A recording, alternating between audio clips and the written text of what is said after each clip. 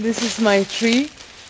Because every Damanhurian citizen they choose a tree to which they connect, and so it's like a it's like a plant friend, and I just chose mine.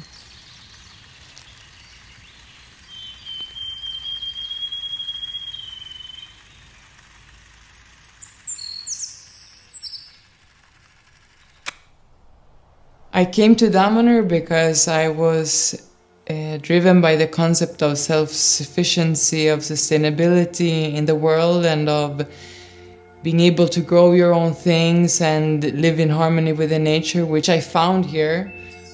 But I was even more excited to find that it wasn't only that, but under the surface, there's this big container of esoteric knowledge that made me really curious to stay in Damanhur and to go deeper to investigate what this was actually all about.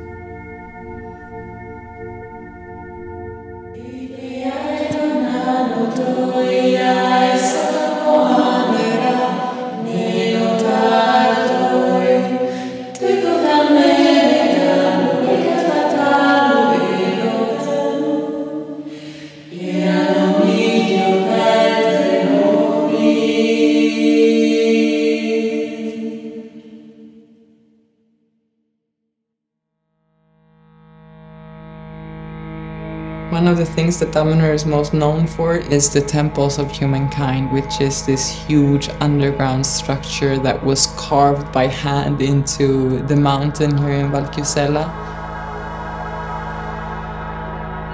One of the main functions of the temples and why it is built inside of the mountain is because this mountain is a point where the synchronic lines are passing. And so the whole temples in itself become an access point you can use in hundreds of different ways. Going through the temple is like going on a path towards a realization of the human potentials.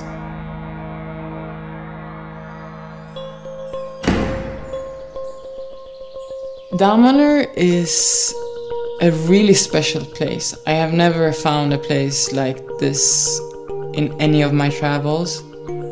I've never met that much people either, in, like not even in the main cities, and so this is really, it's like an airport for people who are also interesting people like scientists, artists. In Damanhur we say it's a laboratory for the future because there are for sure both ancient and new technologies and practices that we need to start using in order to create a better future for humankind. So we have, for example, our own currency system, we have our own schools, we have our own university, we have our own way of marriage, and it's a place where people from completely different cultures come together and live in the same house.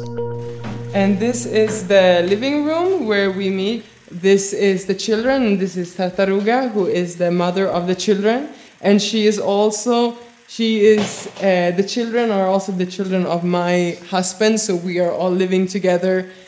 Me, my husband, which is her ex uh, ex husband, and their children. So we are like this big uh, big family.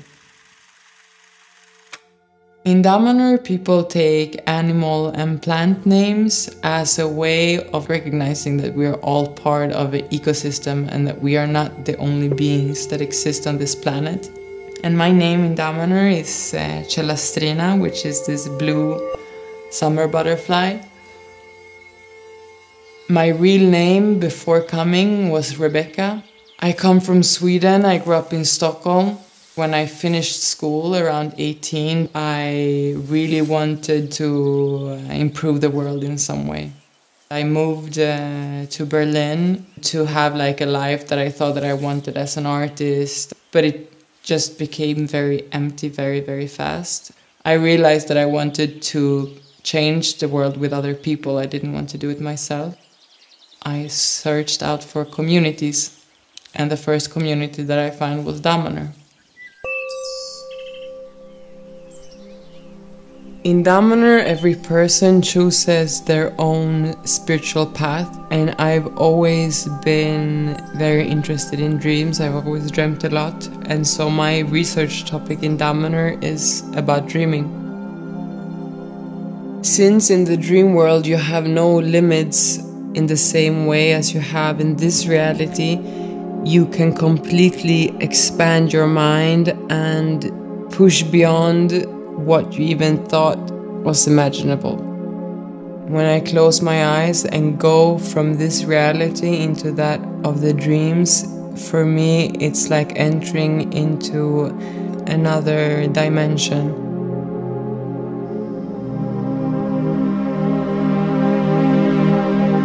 Dreaming is not an escape from the world, but it's immersing yourself so much in the world that you actually go beyond it.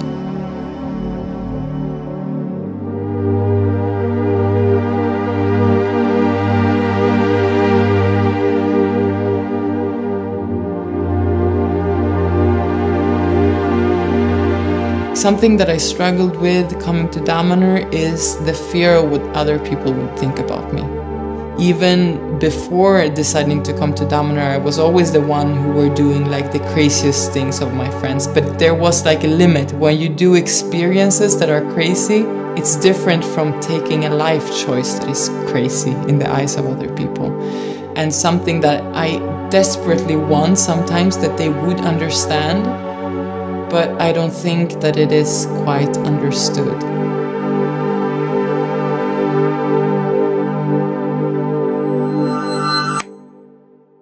and then you're awake again.